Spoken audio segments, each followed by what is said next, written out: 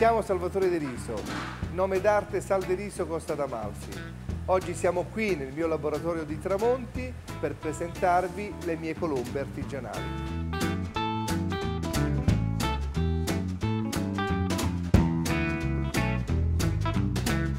Prepariamo le colombe artigianali a lievito naturale. Vi presento gli ingredienti che dovete utilizzare, una qualità di farina eccellente, del burro di centrifuga, tuorlo d'uovo, zucchero, acqua e lievito naturale. Naturalmente questo è il primo impasto che si deve preparare almeno 12 ore prima del secondo impasto. Il secondo impasto ha gli stessi ingredienti con l'aggiunta poi della parte aromatica che è la buccia di arancia grattugiata, la bacca di vaniglia e naturalmente le bucce di arance candite. Adesso realizziamo il primo impasto. È importante avere a disposizione un'impastatrice, inseriamo l'acqua,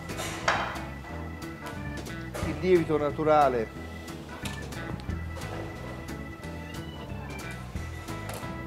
direttamente all'interno e lo zucchero, zucchero semolato. Iniziamo il nostro impasto.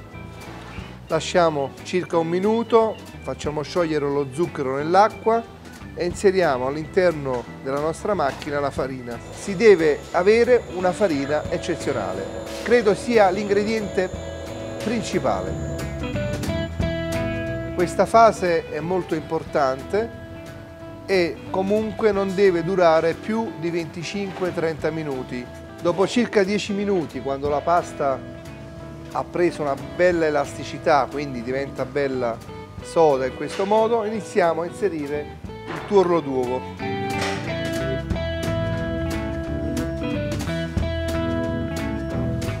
E pian piano anche il burro. La pasta è pronta, ora la tiriamo fuori dalla macchina. Eccola qui. Come vedete è molto liscia, asciutta, setosa.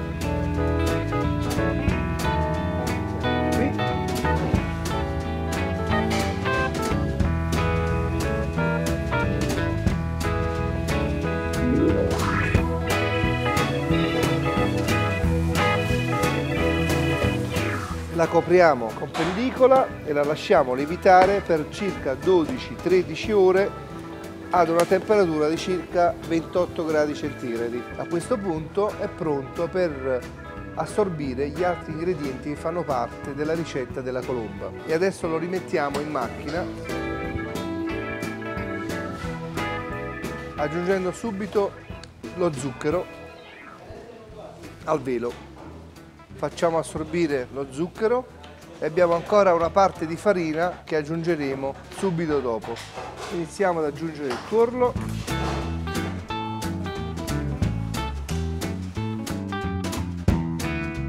Aggiungiamo adesso il burro morbido, miele di arancio o miele millefiori o miele di acacia. Per finire aggiungiamo l'acqua con il sale sciolto dentro. Questo impasto normalmente dura 50 minuti. Allora terminiamo l'impasto aggiungendo la parte aromatica. La bacca di vaniglia, un'arancia grattugiata e infine aggiungiamo i cubetti d'arancio. Facciamo assorbire tutta la frutta.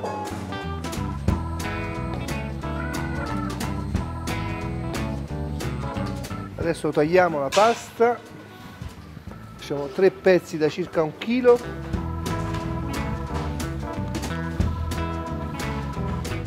e iniziamo la pirlatura. Questo lavoro lo faremo due volte a distanza di un'ora. Dopo circa un'ora tagliamo la pasta che nel frattempo ha fatto una bella pelle come vedete in superficie, tagliamo le ali, pirliamo un po' la pasta creando poi il corpo della colomba.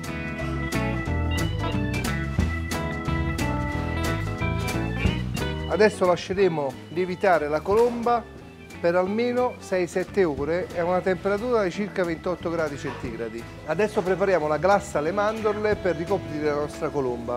Zucchero, mandorle in polvere, aggiungiamo allo zucchero, albume d'uovo, iniziamo a bagnare lo zucchero fino ad ottenere una consistenza per spalmare la glassa di mandorle sulle colombe. Quindi la lasciamo riposare per un paio d'ore e dopo circa due ore questa è la consistenza giusta per una glassa alle mandorle da spalmare sulle colombe.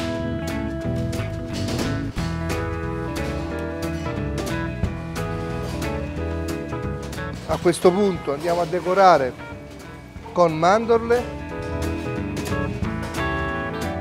mandorle sgusciate e mandorle pelate e granella di zucchero.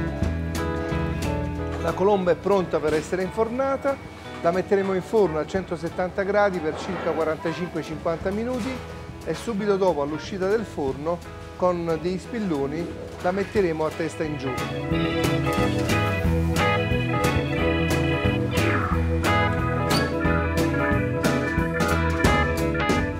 colomba è pronta, appena uscita dal forno andiamo a infilare con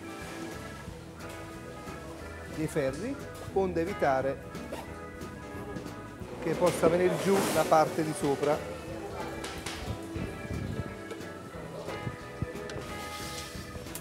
Questo è il risultato finale. Buon appetito